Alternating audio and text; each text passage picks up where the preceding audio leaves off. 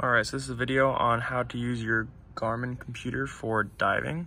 So this button right here is like the um, like activation button, so you can press it to use different activities.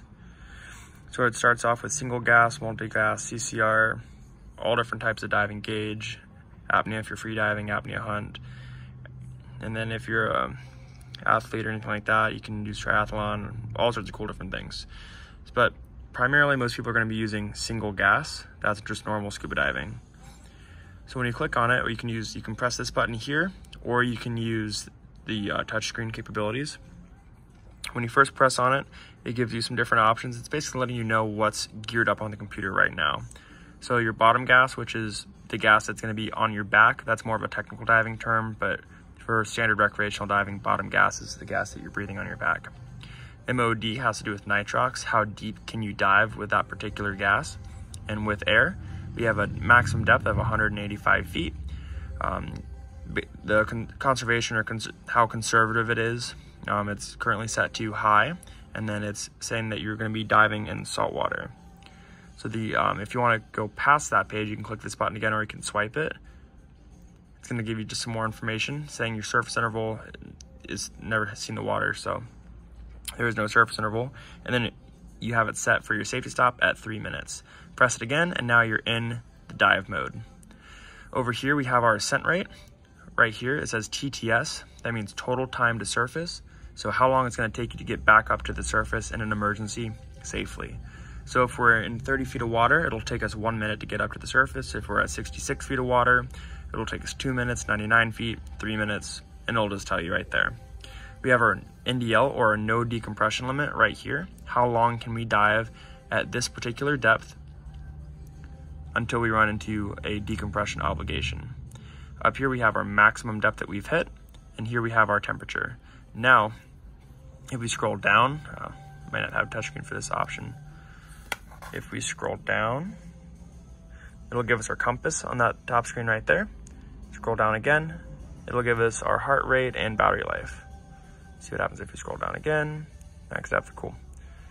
And that's pretty much all the information that you need, unless you have a transmitter set up. Now we have different settings. So you have our gas, I don't know if you're a nitrox diver, but you can change it. Instead of diving air, you can dive nitrox or trimix or whatever you're certified to. Trying to do this with one hand is complicated.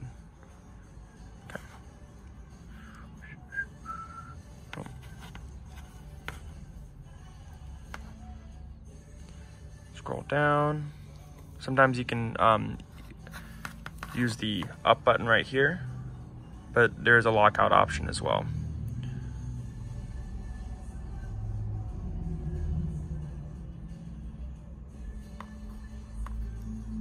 All right, you can set a heading, which is this button right here. You can change it, you can set a reciprocal. You can do um, 90 degree turns. So like if you're doing a, a square, or you can clear it.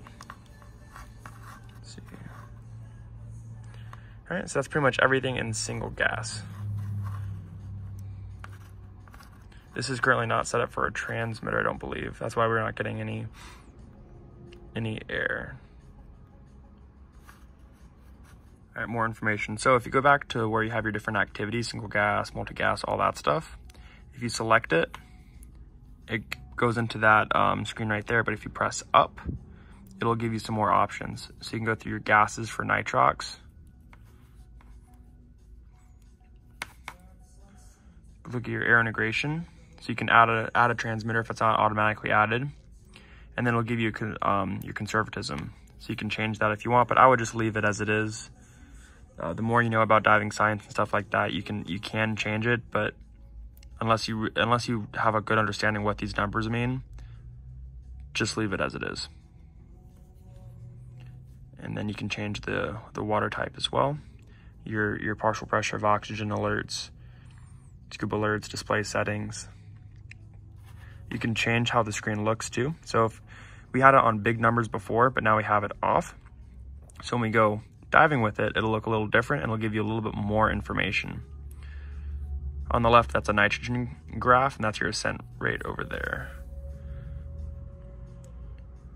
Larger compass. And this is just gonna give you a lot more information on your screen.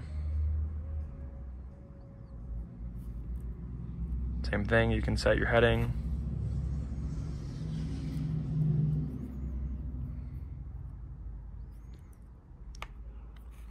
Nothing on that screen that's different. Nope. Cool. So that's pretty much everything from the from the diving aspect. When you hit the water, if you forget to turn it on, it'll show up just like this. So it'll have all your important information. If you have air integration connected, it'll already be there.